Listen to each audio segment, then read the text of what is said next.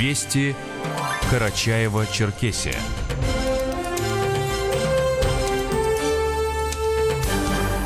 В студии Рита Нерова. Здравствуйте. Коротко о некоторых событиях. В России появится единый бренд «Сделано на Кавказе». А в ауле Адыгихабль досрочно завершен капитальный ремонт берегоукрепительной дамбы на реке Малый Зеленчук. Заболеваемость острыми респираторными вирусными инфекциями в республике остается высокой, и в Черкеске открылась школа актерского мастерства для детей с нарушением слуха. Далее об этих и других темах. Пятигорске состоялось э, совещание полномочного представителя президента Российской Федерации в Северокавказском федеральном округе Юрия Чайки с участием глав регионов округа. Карачаево-Черкесию представил руководитель администрации главы и правительства республики Мурат Озов. Обсуждена организация гуманитарной и технической помощи участникам специальной военной операции. Представитель главы государства в округе напомнил руководителям регионов о личной ответственности за решение вопросов обеспечения всем необходимым бойцов на передовой. Юрий Чайка также подчеркнул важность неукоснительного выполнения социальных гарантий военнослужащих, добровольцев и членов их семей. Отдельным пунктом повестки и совещания стало развитие военно-патриотической работы в регионах. Отмечено, что главам субъектов Северокавказского федерального округа необходимо усилить информационную деятельность и взаимодействие с молодежными движениями. Юрий Чайко подчеркнул, что к военно-патриотической работе ни в коем случае нельзя подходить с формализмом, требуется личное общение с молодыми людьми для формирования объективного мнения по актуальным вопросам общественно-политического развития субъекта и страны в целом. В этом году республиканская программа по обустройству мини-садов интенсивного типа будет реализована на территориях личных подсобных хозяйств в трех районах Карачая-Чекесии. Об этом сообщил министр сельского хозяйства региона Анзор Баташев. Данный проект был предусмотрен до 2022 года. За этот период нам было, мы успели все районы охватить. В каждом районе было кооперативу и было заложено более 30 гектар садов. 315, если не ошибаюсь, лично подсобных хозяйств. С этого года по поручению Рэш мы продлили региональную программу. И как минимум до 2024 года данная программа будет работать. В этом году планируется охватить три района, поддержать 30 хозяйственных кооперативов. Соответственно, это получится где-то 90 лично подсобных хозяйств. Глава администрации Усть-Джигутинского района Мурат Лайпанов и генеральный директор Кавказ цемента Владимир Сокольцов подписали соглашение о социально-экономическом сотрудничестве. Документ предусматривает, что предприятие вложит средства в развитие инфраструктуры Усть-Джигуты и будет действовать до конца 2025 года с возможностью продления. В течение трех лет завод направит финансовые средства на объекты социальной сферы порядка 50 миллионов рублей. В этом году будет оказана помощь подшеф на городской школе номер два детскому саду «Тополек» и продолжена работа по благоустройству территории детского дома-интерната «Забота». Завод также участвует в реализации важной инициативы – благоустройстве Центрального городского парка в Усть-Джигуте. Проект парка победил во всероссийском конкурсе лучших проектов создания комфортной городской среды в малых городах и сельских поселениях. Городской парк порадует своих посетителей интересными арт-объектами, функциональными зонами отдыха и детским игровым комплексом. В ауле Адыгихабль досрочно завершен капитальный ремонт берегоукрепительной дамбы на реке Малый Зеленчук протяженностью 2 километра 400 метров. Ремонт дамбы позволит защитить э, порядка пяти сотен человек, их домовладений и приусадебных участков, расположенных на площади затопления более 50 гектаров. В зоне возможного подтопления также располагались объекты инфраструктуры населенного пункта. Проведение работ позволит предотвратить ущерб от паводка в размере более 1 миллиарда рублей. Напомним, также досрочно завершились работы по капитальному ремонту двух дамб на реке Ишкакон в селе Джага, а в июле прошлого года досрочно завершены работы по ремонту также двух дамб на реке Тиберда в Карачаевске. Единая Россия и Молодая гвардия партии передали спецтехнику и экипировку военным для 144-й гвардейской мотострелковой Ельнинской дивизии в ЛНР. Волонтеры партии привезли печи для блиндажей и промышленный генератор. Активисты Молодой гвардии доставили помощь трем подразделениям российских военнослужащих, которые участвуют в специальной военной операции на Запорожском, Угледарском и Авдеевском направлениях. Бойцам передали тактические наушники, планшеты, продукты и медикаменты медикаменты, полевые рации, а также рации для машин и специализированную одежду. Кроме того, очередная партия груза для военнослужащих и мобилизованных из Карачая-Черкесии, которые проходят службу в составе сотой отдельной разведывательной бригады, доставлена в местонахождение наших ребят. Термобелье, теплые вещи и носки, продукты питания, сладости, газовые баллончики. Все это собрали воспитанники и тренеры комплексной спортивной школы «Победа» под руководством депутата Думы Черкеска Азамата Кубанова. К акции присоединился социальный пункт помощи Николь Нуголока, а также жители Хабесского района, которые обеспечили доставку ценного груза нашим ребятам в зону проведения специальной военной операции. Всего же с 22 февраля из Карачая-Черкесии отправлено 55 партий гуманитарной помощи общим весом более 585 тонн. На передовую нашим защитникам отправили теплые вещи. По инициативе депутата парламента Карачая-Черкесии Ильяса Тикеева в зону проведения специальной военной операции отправлено тысяча пар теплых носков и более 200 свитеров, связанных заботливыми руками бабушек аула Верхняя Тиберда. В каждое шерстяное изделие вложена любовь и забота наших уважаемых бабушек о тех парнях, которые сейчас сражаются на передовой. Пусть они чувствуют нашу поддержку и знают, что их ждут дома, сказал Ильяс Тикеев. В России появится единый бренд «Сделано на Кавказе». Роскачество и Единый институт развития регионов Северного Кавказа, акционерного общества «Кавказ РФ» начали разработку системы добровольной сертификации «Сделано на Кавказе». Продукцию планируют маркировать специальным знаком для популяризации территории производства и дополнительной гарантии качества – Сертификацию таких товаров будет осуществлять орган по сертификации подведомственный Роскачеству. Так, производители, зарегистрированные в системе сертификации, будут занесены в специально открытый реестр и получат ряд преимуществ, в том числе возможность параллельной сертификации продукции на соответствии стандартам халяль, а также требованиям органической и зеленой продукции, ускоренное получение российского знака качества. Помимо этого, предприятия под брендом «Сделано на Кавказе» смогут пройти диагностику эффективности бизнес-процессов, приняв участие в премии правительства России в области качества. Это позволит производителям провести системную работу по повышению производительности, развитию систем менеджмента качества. Кроме того, зарегистрированные в системе товары получат дополнительную поддержку от Роскачества в продвижении в федеральных торговых сетях. Заболеваемость острыми респираторными вирусными инфекциями в республике по-прежнему остается высокой, и тем не менее по итогам прошлой недели превышение эпидемического порога среди совокупного населения и в отдельных возрастных группах не зарегистрировано. За неделю официально выявлено 889 случаев заболевания ОРВИ. Однако по сравнению с предыдущей неделей среди всех возрастных контингентов прирост стал положительным. Показатель прироста составил 16%, при этом самый самый высокий показатель э, среди школьников 7-14 лет. Высокогорный молодежный форум «Махар», который проводится в Карачао-Черкесии, как мы уже сообщали, получил статус Всероссийского форума. Республика выиграла э, в конкурсе по отбору площадок для организации и проведения федерального конкурса молодежных проектов, а также получения статуса федеральных окружных форумов. Подробности у министра по делам молодежи республики Ибрагима Татаркулова. Форум организуется и проводится на территории субъекта с 2008 года на базе Карачаевского государственного университета. Следует обратить внимание на то, что в этом году Махар, так же как и в прошлом, пройдет в августе. Предоставление федерального статуса в организации и проведении форумной площадки дает следующие преимущества для региона. Преимущество номер первое – это, конечно, социальная значимость.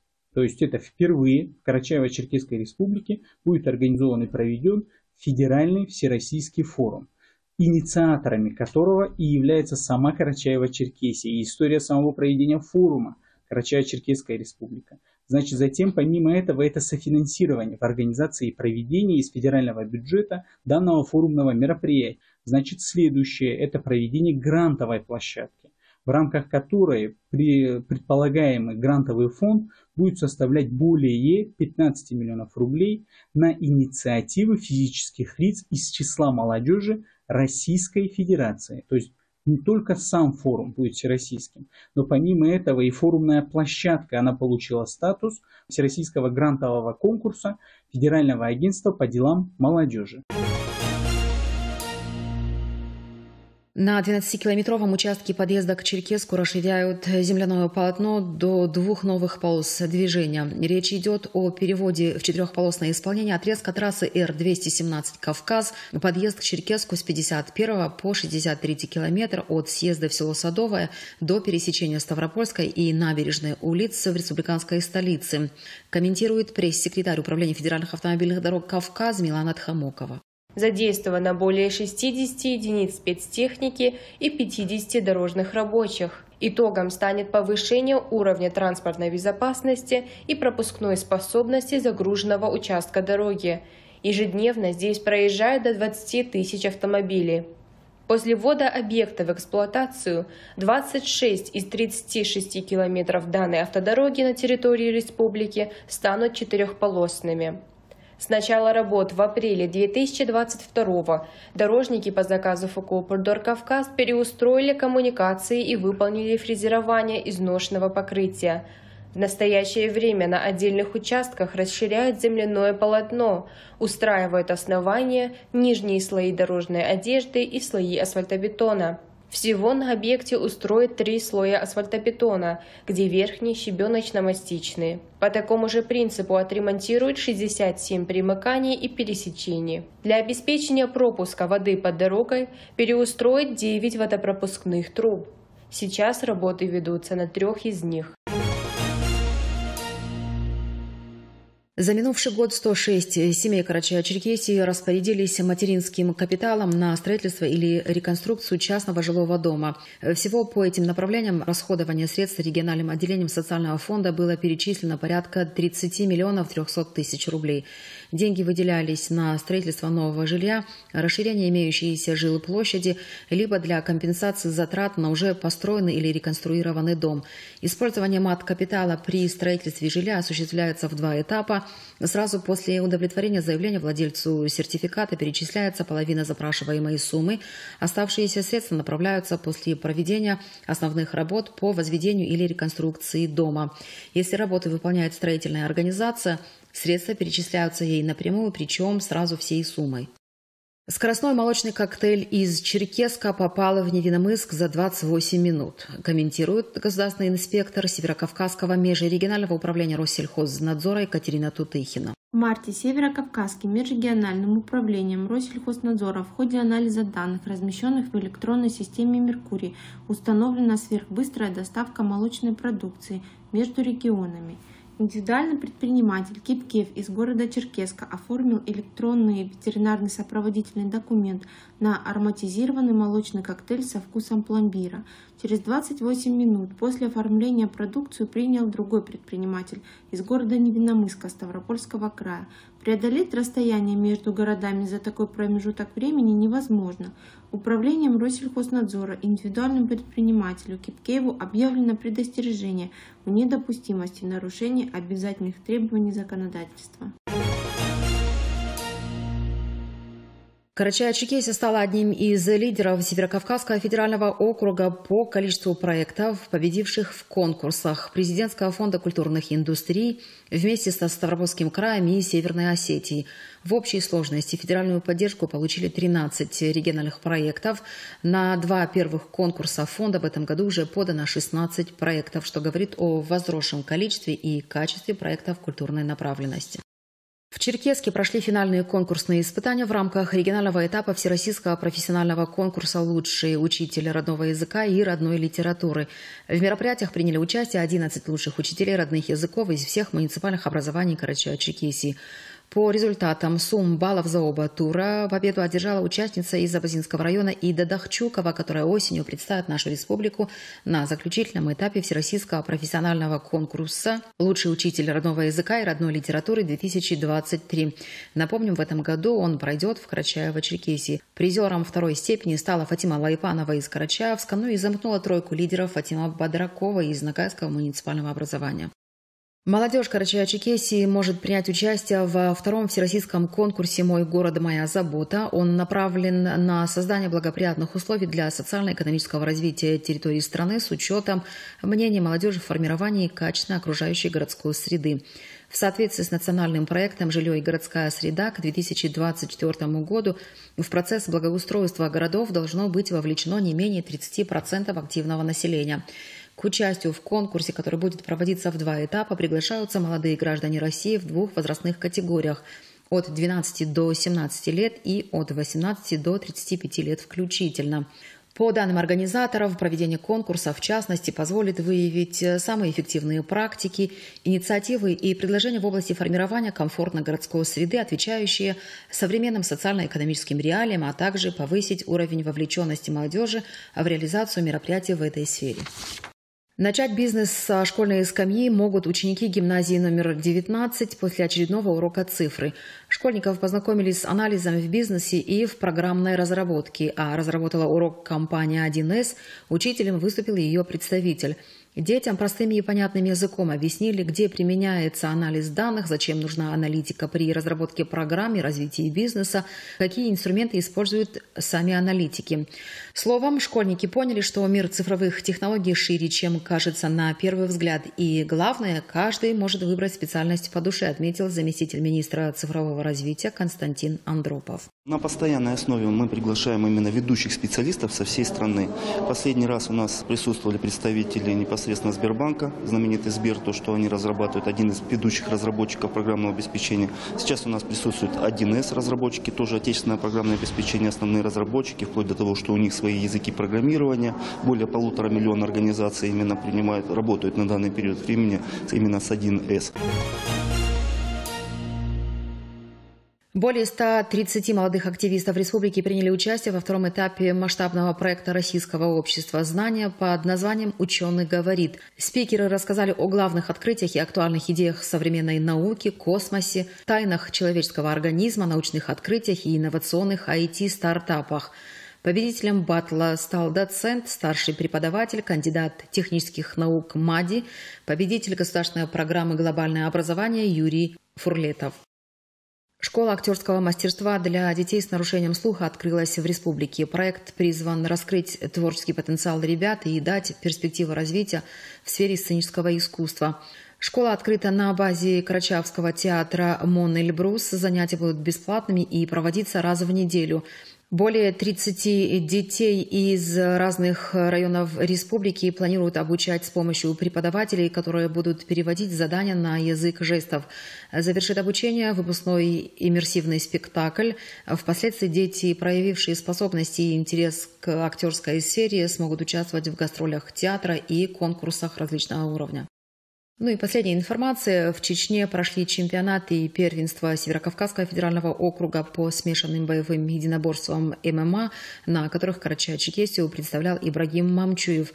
Наш спортсмен показал зрелищный и красивый бой, выступив в весовой категории 93 килограмма. Радио России Карачаева-Черкесия. Погода.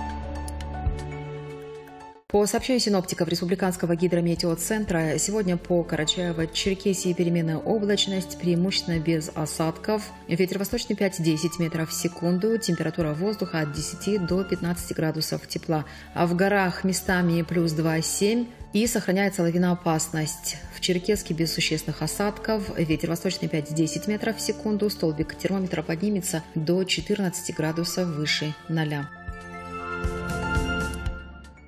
На этом информационный выпуск завершен. В студии была Рита Нерова.